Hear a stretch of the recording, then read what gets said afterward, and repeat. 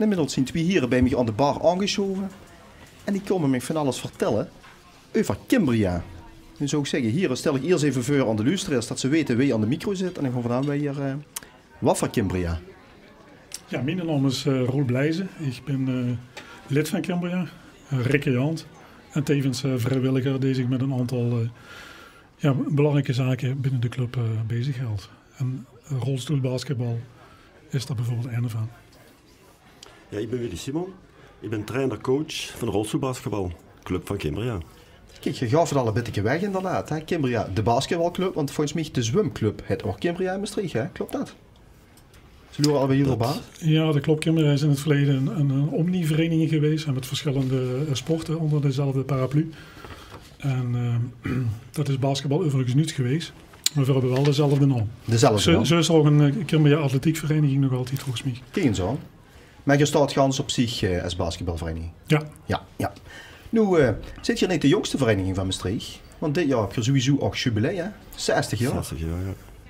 En toen dacht ik van gewoon in zijn eeuwigheid heel spectaculairs doen. Tenminste, ik vind het best spectaculair. Daar zou ik daar even voor vroeg gevraagd hebben. Om aan de radio de dag te komen vertellen. Want je gaat rolstoelbasketballen. Nou, uh, dat doen we al vijf jaar. Kijk eens aan. Alleen we doen het nu, uh, we zijn dus eigenlijk gestart vijf jaar geleden. We hebben dus een gesprek gehad met uh, de basketbalbond en Special Heroes met Connie Wezenman. omdat hij in het zuiden totaal geen geen sport voor kinderen met een, met een handicap.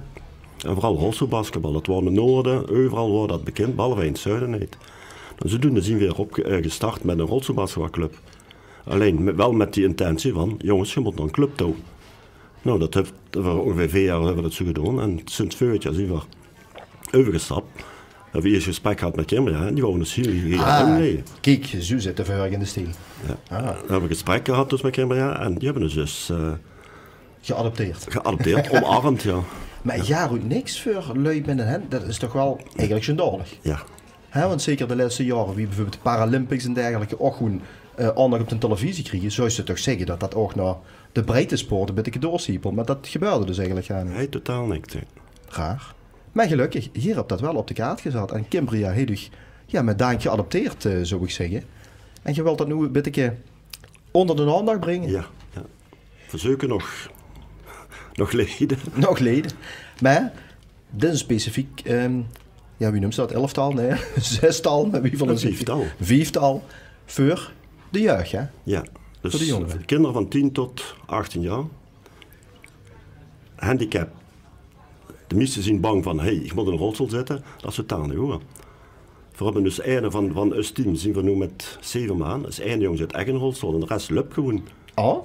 Alleen, uh, je hebt een beperking van, mogen niet hel rennen, omdat ze het aan, aan het been hebben. En heet het onze rug. En heet het hardvaren. Die maakt het ook niet hel rennen. Ja, nou, en dat is dit ideale sport ervoor. Oké, okay, zo. En wie gaat dat dan? Uh, je zegt, eigenlijk is dat niks in het zuiden te doen, maar je wilt toch ook een beetje competitie spelen in gaan? Spelen competitie. Speelt je dat dan tegen clubs uh, uit het land? Ja, of, uh... dat zijn dus acht regio's.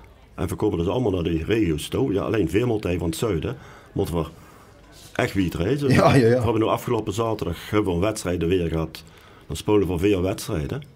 En helemaal in Amersfoort. Of in Amsterdam. Volgende maand moeten we Amsterdam. Eindhoven. Dan moeten we allemaal naartoe. Mechtünk. En die komen nu naar Maastricht? Die komen nu... Uh, ik wil zeggen, want op eind van het jaar, nu de nieuwe competitie start, komen ze naar Maastricht toe. Ja, ik heb altijd een idee dat de lui die in het land wonen, dat die altijd menen dat het voor ons korter bij is om naar Amsterdam te rijden, als van Amsterdam naar Maastricht. Maar volgens mij is dat juist even weten. Normaal wel. Tenminste, dat idee krijgen altijd ook voor het werk of voor cursussen. Nee, maar dat klopt. Dat ze altijd dachten van, goh, dat is, dat is gemeentelijker. Nee, maar dat klopt. Dat werd ook gezegd van, hier, kan vol gemeentelijk ook komen. Ja, raar is dat. Ja. Maar dat team dat speelt dus uh, zes competitiedag. En, uh, en dan is er nog een NK. Oh, oh nog eens. We hebben het ook nog gespeeld. En uh, ja, wie, uh, wie jullie just heet, in oktober uh, van dit jaar, als de nieuwe competitie begint, dan gewoon voor ook zo'n competitiedagen in Maastricht organiseren. Ja. En heb je al, ja, wie zegt dat zei, kiekdag gehad, dat uh, jullie geïnteresseerd zijn in kunnen komen loeren? Want ik kan me voorstellen dat het heel lastig is als die met een handicap zit, om over die drempel te stappen, om te gaan sporten en dan ook nog, ja, wow, Uh, rolstoelbasketballen, wie moet dat? Ik heb inderdaad misschien aan mijn knie, hè, wie mijn compagnon uh, die watjes inbelde. Um, wie kan ik dan eens komen loeren van, is dat get voor mij? Uh, donderdags hebben we altijd een training van 6 tot half 8. En dat is men altijd welkom. En dan kun je gewoon vrij uh, En kun ze meedoen, uh, dat ze meedoen. Kun ze in de rolstoel kun ze komen zitten. Het zijn speciale wedstrijdrolstoel. Het zijn niet normale rolstoel. Het zijn gewoon wedstrijdrolstoel. Ze gewoon eens meedoen. Ze dus proberen. Dus even proeven erom. Ja. ja. Goed. Ga ik terug naar Kimbria met het rolstoelbasketballen. En nu al even onder de platen doorpraten. Um, er zijn dus kinderen bij die helemaal niet per se in een rolstoel zitten. Die dus eigenlijk een ganz ander soort beweging moeten gaan maken. Eens. Die in die stoel dan moeten gaan basketballen. Um, stel dat ze een goede basketballer is. Kind ze dan zomaar in een rolstoel gaan zitten en dan is ze nog altijd een goede basketballer? Nee. Nee? nee. Dat komt toch in ieder geval bij loeren qua uh, met de steun omgaan. Het terugrijden, het passeren, het dribbelen. Het is allemaal heel anders. Het is allemaal heel andere techniek heet het. Ja, maar ook het goede aan zich. Het goede is anders. Het lichaam nee, te balanceren. Je moest echt uit een... Van uit een eieren moesten, moet, ja, moeten die kinderen groeien. En dat is een heel andere techniek als, als van gewoon springen en dan scheten. Ja, ja, ja. En um, ja, nu vroeg al een beetje Kielraven, de moest natuurlijk niks aan de arm hebben, wil ze dat doen. Maar toen zag je al van, nou, dat hoeft helemaal niet. Want je had voorbeelden van uh, kinderen die wel beperkingen aan de arm ja, hadden. en die spelen goed met. Ongelooflijk. Ja. En het zien natuurlijk allemaal kinderen die ook hun energie kwijt willen, zoals we alle leeftijdsgenoten. Ja, ja, ja, en die toch plezier hebben en ook in het sporten. Ja, ja. En die, geren willen sporten en ja. En die kregen nu de kans. En die kregen nu de kans, ja.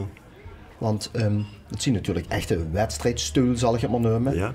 Um, en ze gaat om een hart heb of om uh, gaat anders, heb ik niet tussen een stoel. Nee. Dat kind je wel als vereniging faciliteren. Veer hebben die, die steulen. zien kinderen bij die uh, bepaalde beperkingen hebben, die krijgen van de gemeente die steun, of niet bij iedere gemeente. Er zijn gemeentes die krijgen het wel en er zijn gemeentes die krijgen het niet. En Veer hebben zelf ook eens een steun. Moet die kinderen dan die totaal niet in arm gekomen steun, ja, die deden dat stoel van ons Stalin krijgen. Ja, ja, dus dat is eigenlijk voor die kinderen die zin hebben. Die de Geen vriendjes. Rem, ze nee, kunnen gewoon komen. En, ze kunnen gewoon komen. En als ze het bevalt, kunnen ze gewoon meedoen. Ja, ja. En heb je al nieuwe leien gekregen de laatste weken, maanden? Nee. Nee, nu niet. Nee. Nou, dan zit je natuurlijk goed. Absoluut, dat gewoon wel benieuwd, ja. ja, ja. Um, als nu uh, bijvoorbeeld ouders ook van kinderen, ik kan me voorstellen dat die ook denken van, goh, voorzien aan zoeken naar een passende sport voor een kind wat een beperking heeft. Als die meer informatie willen hebben, heb je een website of zo hoe uh, ze het kunnen teruglezen? Ja, Kimbria heeft een website, kimbria.nl. Dus daar is ook informatie terug te vinden over het rolstoelbasketbal. En verder is er een, uh, zeg maar een e-mailadres, uh, info at.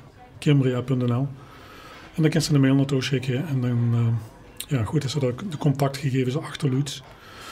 Dan kunnen we weer even het initiatief nemen met uh, betreffende lui contact op te nemen. Dat doen we geren. Ja.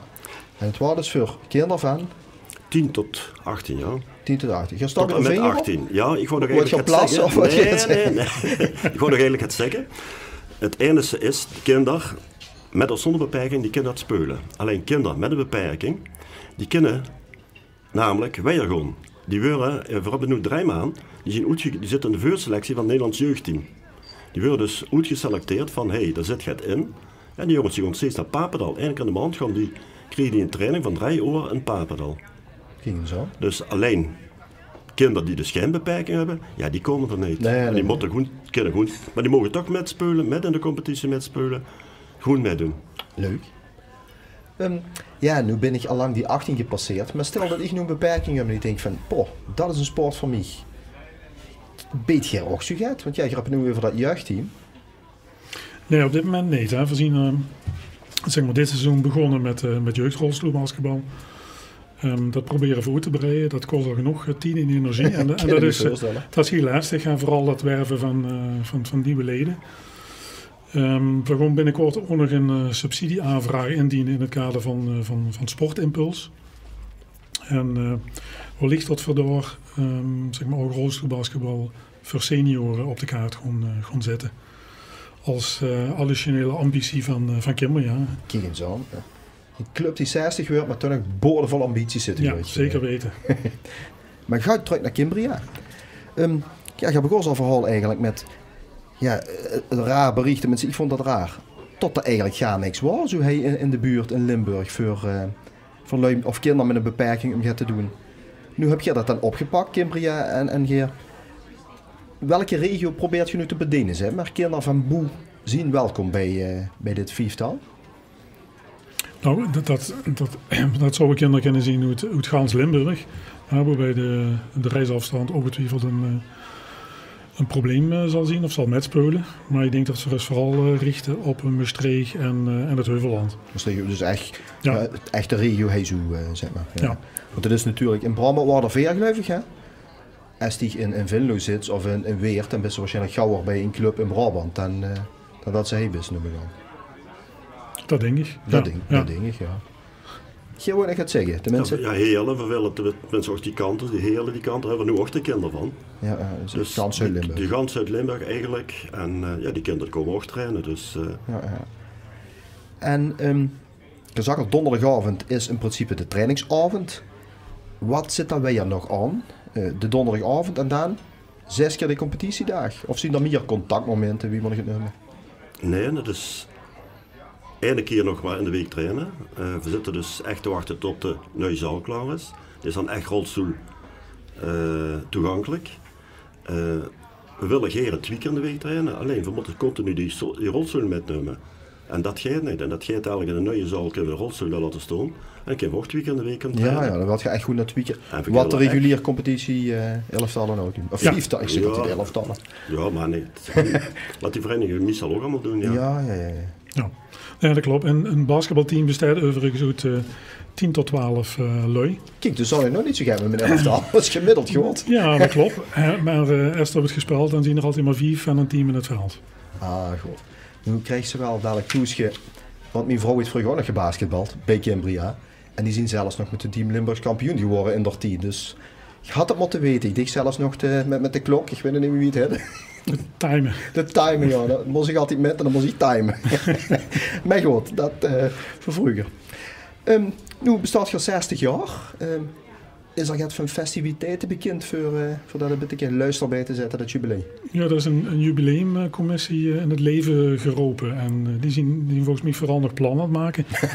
en het eerste, eerste wat naar boete is gekomen is dat voor 24 april, zeg maar, het, het jubileum echt vieren met een uh, sportmiddag voor de, voor de leden en de ex-leden. En s'avonds uh, is dan nog een, een goed feest. Kijk zo. En terecht. En terecht, ja Want zeker. Want er was niet zo deks, uh, 60 jaar. Dat wil ze normaal maar keer. Meestal wel. Nee, maar ja, ik vind het in ieder geval heel erg chic dat je dat initiatief hebt opgezet en tot je hebt gevonden als Gimbria en Geres als trainer van, uh, van dat team om dat op te pakken. En ik hoop dat een heleboel uh, kinderen of ouders in ieder geval een oproep gehuurd hebben. En dat die denken van, goh, gaan toch eens uh, donderdagavond een zeven uur wat het is. Dus ik zou zeggen, pak er One Minute of Fame nog een keer. Boe is het, wie laat is het? We trainen donderdags in Geuzelt van 6 tot half 8. 6 tot half En ik zou zeggen, kom eens loeren. Jazeker. En misschien bevult het. En hebben die kinderen een hartstikke chique. Ja. En kunnen ze toch lekker bewegen. En kunnen ze bewegen. En ze, en ze doen met de competitie. En, ja. En dat is die kinderen natuurlijk ook van harte gegund. Daarom. Daarom. En het is gewoon een aantrekkelijke sport, dus... Uh... Goed zo. Ja, heren, hartstikke merci voor eens even te komen uitleggen wie dat zat. Ik zou zeggen, heel veel succes ermee. En hopelijk uh, zie je binnenkort in de media nog meer van u en huur voor tot je inderdaad een heleboel nieuwe leden hebt. En tot je komt met dat uh, senioren, vijftal, elftal, uh, wat er dan maar Want er zien ongetwijfeld een heleboel boven de 18 die ook heren dat zouden willen doen. Ja, ja. precies. Ja. Goed zo. Dankjewel. Het was chic om mee te zien. Ja. Alsjeblieft.